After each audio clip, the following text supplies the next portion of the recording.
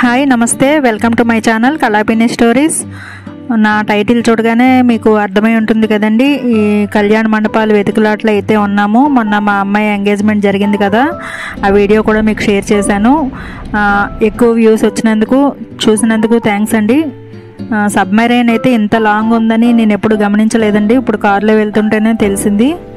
So ఇప్పుడైతే మేము మా జర్నీని బీచ్ రోడ్లో స్టార్ట్ చేసాము డిసెంబర్లో మ్యారేజ్ కానీ ఇప్పుడు నుండే చూసుకోవాలి కదా వెన్యూ అయితే మనం. ఎందుకంటే అవే ముందు బుక్ అయిపోతాయి కదండి.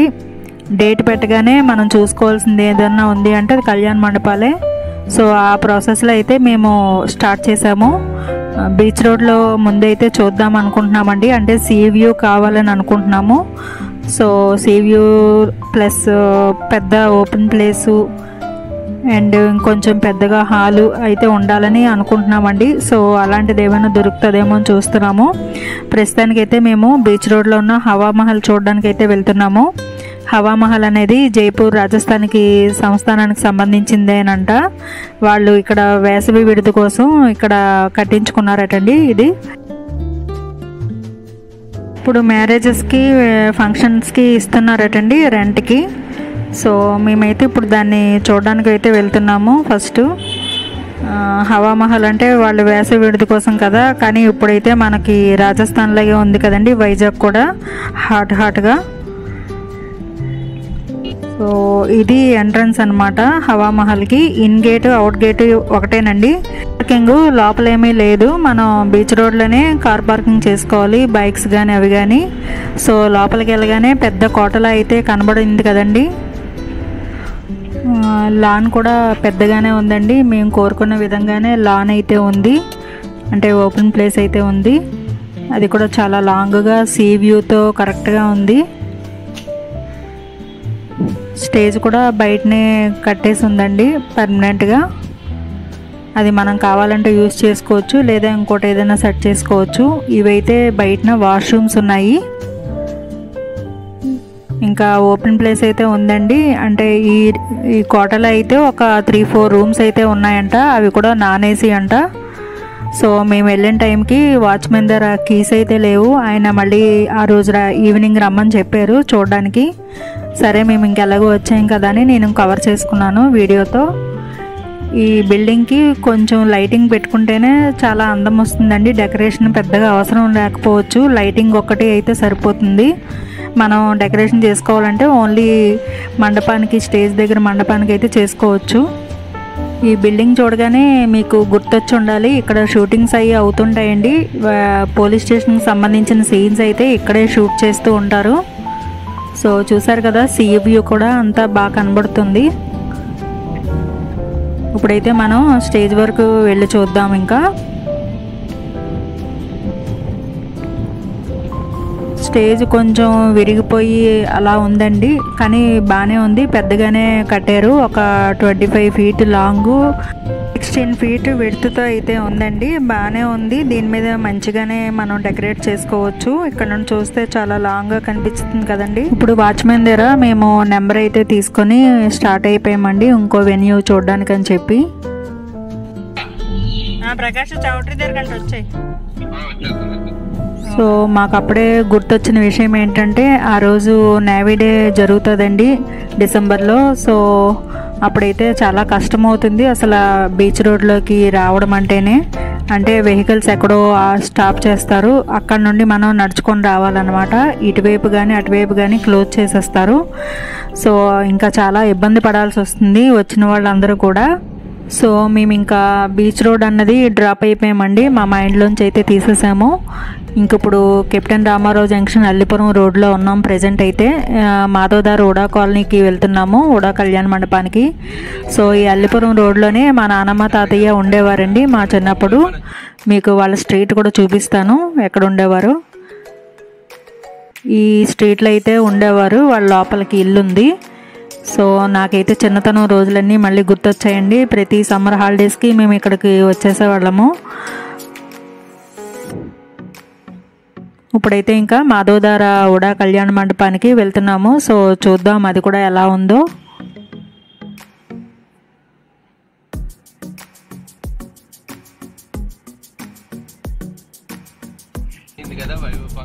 ఈ దారిలో కూడా అన్నీ చాలా చిన్న చిన్న ఫంక్షన్ హాల్స్ అయితే చాలా కనబడ్డాయండి. అంటే అంతా బిల్డింగ్ టైప్ అన్నమాట. సో మేము అందుకే ఇంకా ఏది చూడలేదు. కానీ చాలా ఉన్నాయండి ఇలాంటివి అయితే వైజాగ్లో. ఈ చూపిస్తున్న బిల్డింగ్స్ అన్నీ కూడా కళ్యాణ మండపాలే అనమాట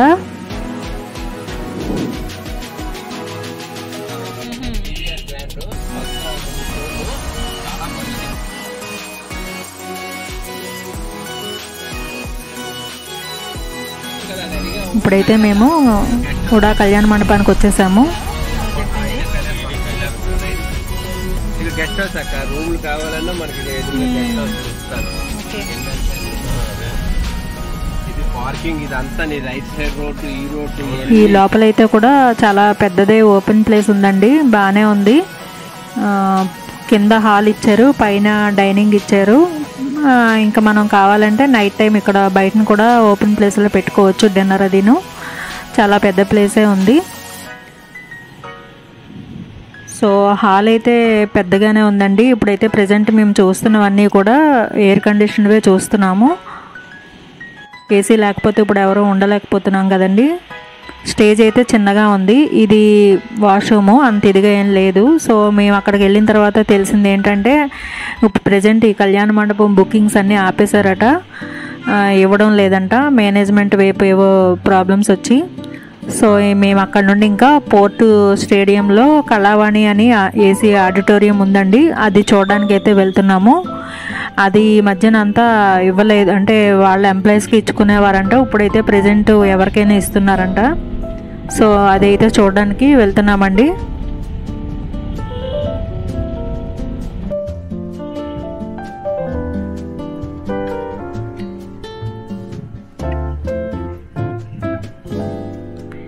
ఈ పోర్ట్ స్టేడియం అనేది ఎన్హెచ్ సిక్స్టీన్ హైవే హైవే పైనే ఉంది. నేషనల్ హైవే పైనే. సో నగరం నడిబొడ్డున అంటారు కదండి అలాంటి టైప్ అనమాట అంటే వైజాగ్కి సెంట్రల్లో ఉంది కరెక్ట్గాను. పోర్ట్ స్టేడియము ఎంట్రన్స్లో ఇలా లోపలికి వెళ్తే కొంచెం లో లోపలికి వెళ్ళాలండి. చక్కగా చుట్టూ కొబ్బరి చెట్లతో బాగుంది చూడడానికైతే. ఈ వే అంతా కూడా చాలా చాలా బాగుంది. అంతా కూడా నీట్గా మెయింటైన్ చేస్తున్నారండి వీళ్ళు.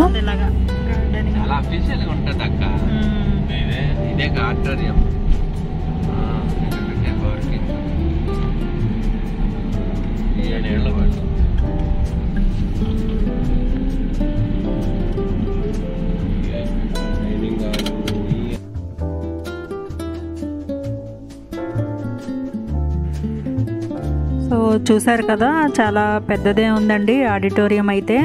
ఇలా బయట పార్కింగ్ కూడా ఏరియా కూడా చాలా పెద్దదే ఇచ్చారు. ఇక్కడంతా పార్క్ చేసుకోవచ్చని అనుకుంటున్నాను నేనైతే. ఇంక ఇప్పుడు లోపలికి వెళ్ళడానికి అయితే ఈ ముందున కూడా ప్లేస్ చాలా పెద్దది విశాలంగా ఉంది. కళావాణి ఏసీ ఆడిటోరియం అనమాట ఇది. సో ముందు ఎంట్రన్సే చాలా పెద్దగా ఉందండి ప్లేస్ అయితే.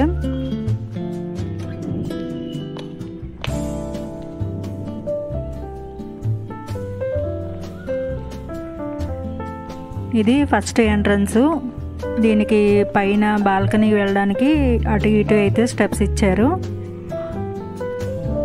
థియేటర్ కూడా టూ గేట్స్ అయితే ఉన్నాయండి.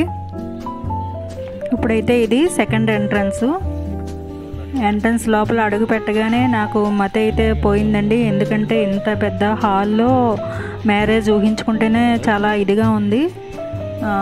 ఆడిటోరియం అంటే చాలా పెద్దదే ఉంటుంది అది తెలుసు. కానీ మ్యారేజ్కి అయితే ఇంత పెద్ద వెన్యూ అన్నది ఎక్కడ దొరకదేమో అసలు మనకి. స్టేజ్ కూడా చాలా చాలా పెద్దది ఉందండి ఆడిటోరియం అనేది అన్ని రకాలుగా యూజ్ చేసుకోవచ్చు కదండి. సో అందుకే ఇంత పెద్దది ఉండుంటుంది. స్టేజ్ అయితే అసలు చెప్పనవసరం లేదు. చాలా చాలా పెద్దది ఉంది స్టేజ్ దగ్గర నుండి కూడా ఒకసారి మీరు సీటింగ్ లుక్ అనేది చూడండి ఎలా వచ్చిందో. మినిమం ఒక టూ థౌజండ్ మెంబర్స్ ఉంటే హాల్ ఫుల్ అవుతుందండి నాకు తెలిసి. అంత పెద్ద ఆడిటోరియం ఉంది.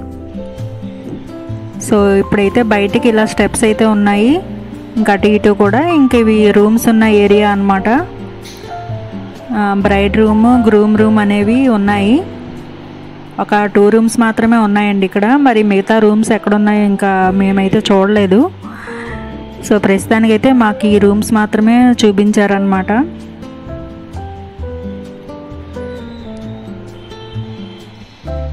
ఇవి కూడా రెండు రూమ్స్లా కనబడుతున్నాయి కానీ ఒకటే రూమ్ అండి. అందులోంచే లోపల నుండే డ్రెస్సింగ్ ఏరియా మళ్ళీ వేరేగా ఇచ్చారు. సో అంతా ఫుల్ ఏసీ ఆడిటోరియమే ఇది. ఇప్పుడైతే రూమ్ చూపించడానికి అక్కడ ఉన్న ఆయన వచ్చారు. ఇది బ్రైడ్ రూమ్ ఇది. లోపల హాల్ అయితే రూమ్ కూడా చాలా పెద్దదే ఉంది. సింగిల్ కాటు బెడ్ ఉంది. ఇంకా డ్రెస్సింగ్ ఏరియా అన్నది ఒకటి వాషింగ్ ఏరియా ఒకటి. అండ్ వాష్రూమ్స్ కూడా వేరే ఒక నాలుగైదు ఇచ్చారండి సపరేట్గా ఒకే దాంట్లో. సో బాగుంది. అంటే స్పోర్ట్స్కి ఎక్కువ అవుతుంటాయి కదా సో వాళ్ళందరూ ఎక్కువ మంది ఉంటారు కాబట్టి ఇలా ఎక్కువ ఎక్కువ లోపల లోపల కట్టినట్టున్నారు. కానీ ఏది చూసినా చాలా నీట్గా మెయింటైన్ అయితే చేస్తున్నారండి వీళ్ళు.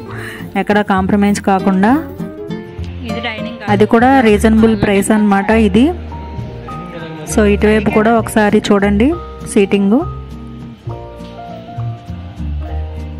థియేటర్ లుక్ కదా ఇది. పైన కిందన సీట్స్ అన్నీ కూడా. సో రెండు వేల మంది అంటే ఈ హాల్కి నిండుదనం అనేది వస్తుందండి. మాకైతే తక్కువ మెంబర్సే. సో అందుకని మేము ఇంకా ఇది కూడా డ్రాప్ అయ్యాము. చాలా బాధ అనిపించింది. ఎక్కువ మంది ఉంటే బాగున్ను చేసుకుందాము అనిపించింది ఆ టైంలో. సో ఇలాంటి స్టెప్స్ కూడా ఉన్నాయండి ఒక దగ్గర. ఇప్పుడు ఇదైతే అవుట్ సైడ్ ఓపెన్ థియేటర్ అనమాట ఇక్కడ కూడా మనం ఏదైనా లైవ్ స్టేషన్స్ అవి పెట్టుకోవచ్చు పెళ్ళి టైంలో. ఇంకప్పుడైతే మేము పైన డైనింగ్ ఏరియాకి వచ్చాము. ఫస్ట్ ఫ్లోర్లో డైనింగ్ ఏరియా ఉంది.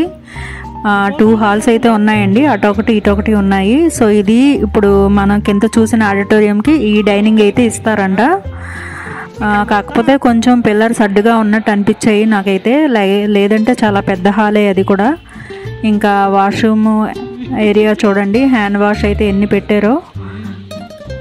వాష్రూమ్స్ కూడా ఉన్నాయి. నీట్గా మెయింటైన్ చేస్తున్నారు.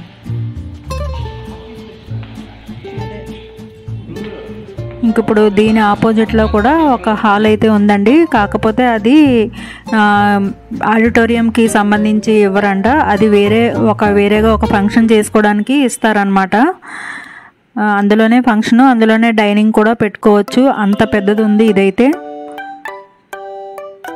సో చిన్న చిన్న ఫంక్షన్స్ అవుతాయి కదండి ఆ టైంలో అయితే ఇది సరిపోతుంది. ఇది ఒకటి తీసుకుంటే సరిపోద్ది అనమాట సో దీంట్లో కూడా హ్యాండ్ వాష్ వాష్రూమ్స్ ఉన్నాయి ఇక్కడే. డైరెక్ట్గా కింద నుండి రాకుండా మా పక్క నుండి వచ్చేయచ్చు అనమాట బైక్లు అవి పార్క్ చేసుకుని డైరెక్ట్ గేట్ ఉంది దీనికి. అలా కూడా రావచ్చు.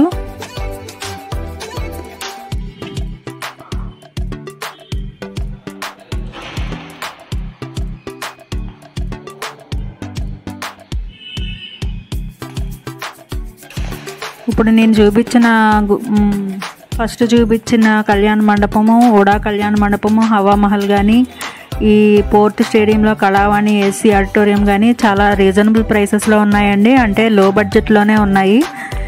నేనైతే ప్రైసెస్ మెన్షన్ చేయట్లేదు. ఎందుకంటే ఎప్పటికప్పుడు మారుస్తూ ఉంటారు కదా ప్రైసెస్ అనేది. సో అందుకని నేను ప్రైస్లు చెప్పడం లేదండి.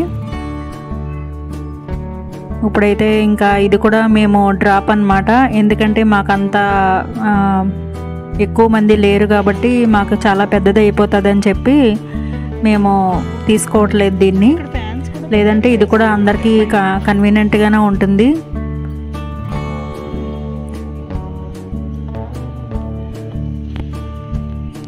సీటింగ్ కూడా చాలా బాగుందండి.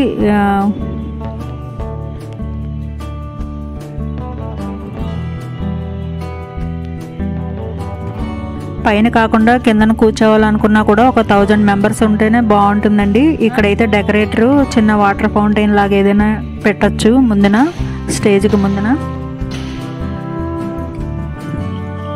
స్టేజ్ కూడా ఎంత హైట్ కావాలంటే అంత హైట్ వేసుకోవచ్చండి డెకరేషన్కి. ఈ వీడియో అనేది కొంచెం లెంగ్తీగానే ఉంటుందండి. ఎందుకంటే మనం కళ్యాణ మండపాలంటే ఒకటి రెండు చూడం కదా. ఒక పది పదిహేను అన్న చూస్తాము. సో అందులోంచి నేను బాగున్నవన్నీ కూడా నేను మీకు పెడుతున్నాను. వీడియో చేస్తున్నానండి. అంటే ఎవరికైనా యూజ్ అవ్వచ్చు కదా ఫ్యూచర్లో. సో అందుకని నేను వీడియోస్ చే అయితే చేస్తున్నాను. మీకు ఈ వీడియో నచ్చితే లైక్ చేయండి. అలాగే ఈ వీడియోస్ కూడా నేను ఒక రెండు మూడు పార్ట్స్ అయితే చేస్తున్నానండి. ఎందుకంటే మరి అన్నీ చూపించాలంటే టైం పడుతుంది కదా. ఇప్పుడైతే మేము పోర్ట్ స్టేడియం నుండి బయలుదేరిపోయాము. ఎందుకంటే మాకు ఇది పెద్దదవుతుందన్న ఉద్దేశంతో మేము డ్రాప్ అయ్యాము. కానీ ఎవరైనా సరే ఫస్ట్ ప్రిఫరెన్స్ దీనికి ఇవ్వచ్చండి. ఎవరికైనా ఎందుకంటే ఇంత తక్కువ ప్రైస్లో మనకి ఇంత పెద్ద హాల్ రావడం అనేది చాలా తక్- తక్కువే ఆపర్చునిటీ ఉంటుంది వైజాగ్లో. సో ఇప్పుడు ఇంకా మేము నెక్స్ట్ ప్రకాష్ని వాళ్ళ ఇంటి దగ్గర డ్రాప్ చేసి మేమైతే ఆంధ్ర యూనివర్సిటీలో ఒక రెండు ఉన్నాయండి. ఆ రెండు చూడడానికని వెళ్దాం అనుకున్నాము.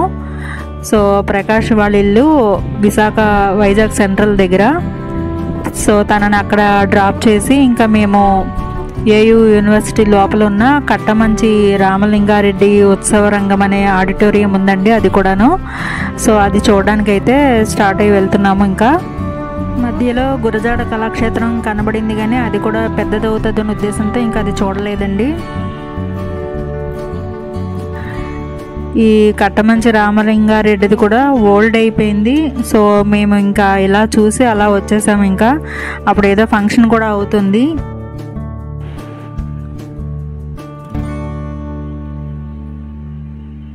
ఇలా ఓపెన్ ప్లేస్ అయితే బాగానే ఉందండి ఇందులోని. కాకపోతే లోపల ఆడిటోరియం అంతా కూడా చాలా అంటే ఓల్డ్గా అయితే కనిపించింది మాకు. ఇంకా అందుకే వీడియో కూడా నేను తీయలేదు. జస్ట్ మీకు మామూలుగా అలా చూపిస్తున్నాను. సో ఇప్పుడు తర్వాత నెక్స్ట్ ఏయూదే ఇంకొకటి ఉందండి. జూబ్లీ ఫంక్షన్ హాల్ అని చెప్పి. అది కూడా వెళ్ళి చూద్దామని వెళ్ళాము.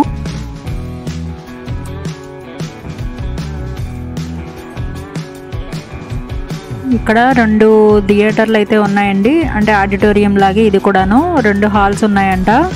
సో ఇలా లోపలికి వెళ్ళగానే రైట్ ఒకటి లెఫ్ట్ ఒకటి ఉంది. సో మాకు రైట్ ఇది అయితే చూపించారు.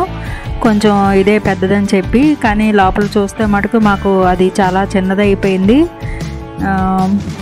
ఈ ఓపెన్లో కూడా మనం డిన్నర్ అది పెట్టుకోవచ్చు ఇంకా. ఫస్ట్ వెళ్ళగానే అయితే ముందు డైనింగ్ ఏరియాయే ఉందండి. ఆ తర్వాత అయితేనే లోపల హాల్ ఉంది. హాల్ కూడా మనకి ట్రయాంగిల్ టైప్లో వచ్చింది. సో ఇంకా మేము అది చూడగానే ఇంకా వెనక్కి వచ్చేసాము. మాకైతే పెద్దగా ఏం అనిపించలేదు చిన్నది కూడాను.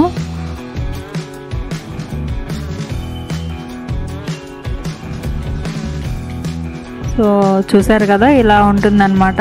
ఇది చాలా చిన్న చిన్న ఫంక్షన్స్కి అయితేనే ఉపయోగపడుతుంది. మ్యారేజ్ కాదు. ఇంకా అక్కడ నుండి మేము ఎండాడ బయలుదేరి వెళ్తున్నామండి. ఎండాడలో టీఎస్ఆర్ వేదికను ఉందట. చూద్దామని వెళ్తున్నాము.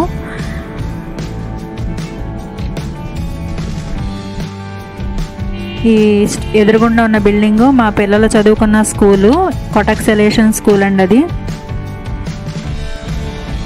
మా పిల్లలిద్దరూ కూడా టెన్త్ వరకు అక్కడే చదువుకున్నారు. ఇప్పుడైతే మేము ఇంకా ఎండాడ వచ్చేసాము. ఎండాడలో మా మొన్న నిశ్చితార్థంకి డెకరేషన్ చేసిన ఆయన చెప్పారనమాట ఇక్కడ ఒక ఫంక్షన్ హాల్ ఉంది వెళ్ళి చూడండి అని. సో అందుకోసం అయితే మేము ఎండాడ వచ్చాము. అది కూడా కొంచెం లోపలికే ఉంది. ఎండాడ కూడా బాగా డెవలప్ అయిందండి. అంటే బాగా అపార్ట్మెంట్స్ అవి కల్చర్ ఎక్కువైంది ఇక్కడ కూడా. Turn left, then your destination will be on the left.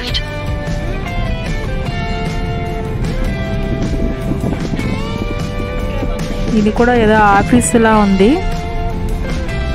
Your destination is on the left.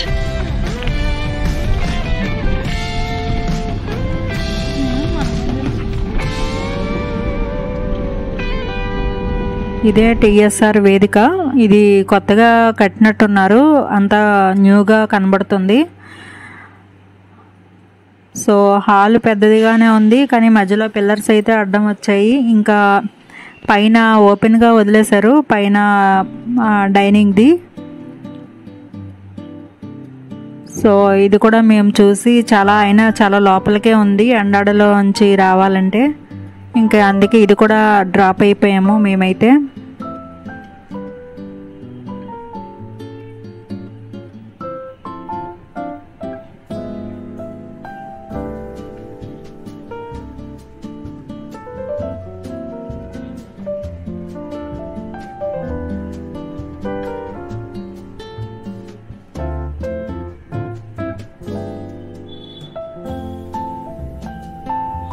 ఒక టూ రూమ్స్ అయితే ఉన్నాయండి ఇందులో హాల్లో. ఇంకెక్కడ రూమ్స్ అనేవి లేవు. మనం ఎక్కడో బయటని తీసుకోవాలన్నమాట ఇంకా తీసుకున్నా కూడా.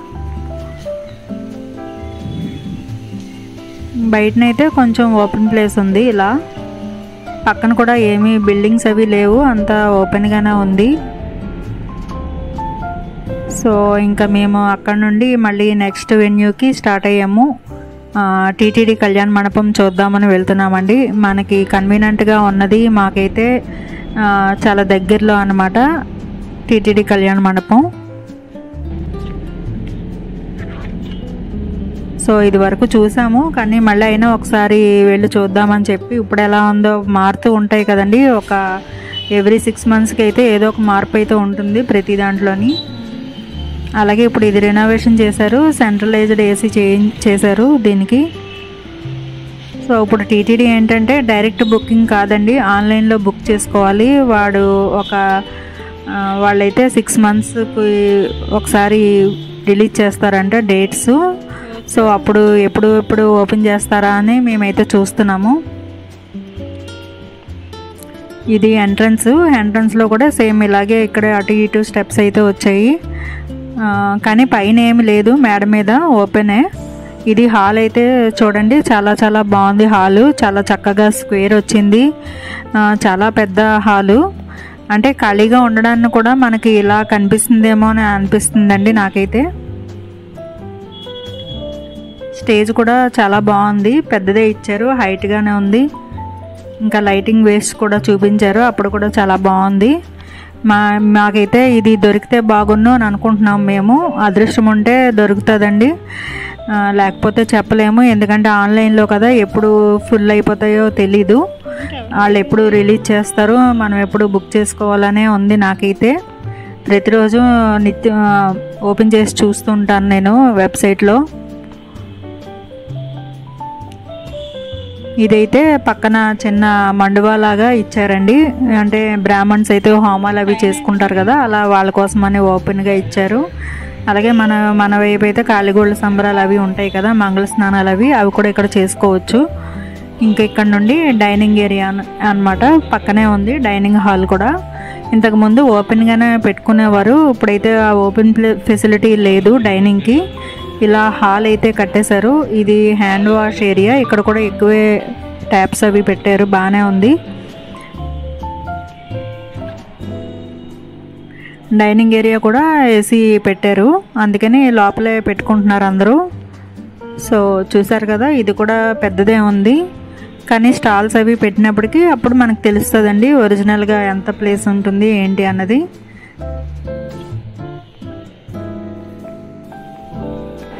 ఇది అంతా కిచెన్ ఏరియా వండినవన్నీ ఇక్కడ పెట్టుకోవడానికి. అండ్ నెక్స్ట్ది అయితే వండుకోవడానికి కూడా ఉంది. ఇంకా బ్యాక్ సైడ్ కూడా ఫ్రీగా వండుకోవడానికి అయితే ఓపెన్ ప్లేస్ అయితే ఉందట.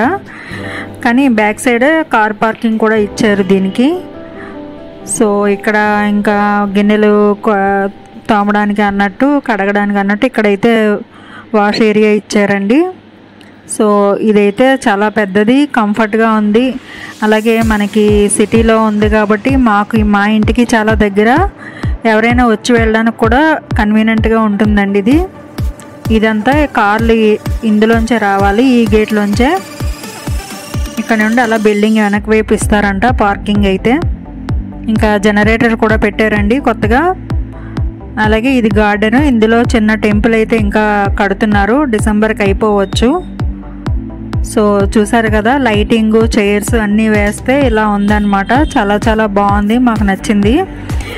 కాకపోతే ఇక్కడ ఓన్లీ హాలే ఇస్తారండి చైర్స్ అవి కూడా ఏమి ఇవ్వరు మనమే తెచ్చుకోవాలి. ఇవి రూమ్స్ బ్రైడల్కి రెండు గ్రూమ్కి రెండు రూమ్స్ ఇస్తారంట. ఓ రెండు ఏసీ రెండు నాన్ ఏసీ అనమాట ఇంకా మనమే బెడ్షీట్స్ డోర్ మ్యాట్స్ కూడా తెచ్చుకోవాలంట మనమే. సో ఇది నాన్ ఏసీ రూము. ఇంకా తిరుపతిలో తిరుపతికి వెళ్తే పైన రూమ్స్ కాటేజీలు ఎలా ఉంటాయి అలాగే ఉందండి సేమ్. మీరు అన్నట్టే ఉంది. తిరుపతిలో ఉన్నట్టే ఉంది రూమ్